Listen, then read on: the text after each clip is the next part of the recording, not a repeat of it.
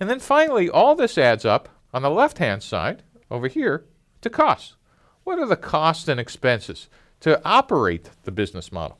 One of the interesting things about cost is it's not just the obvious ones like people or buildings or materials.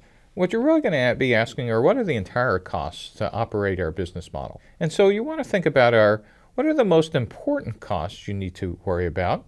What are the most expensive resources you're going to need to pay for? And what key activities are the most expensive? And then you want to ask the typical accounting things what are fixed costs? What are variable costs? Are there economies of scale? And you want to start getting a good handle on what it is that will end up costing you money to run your business.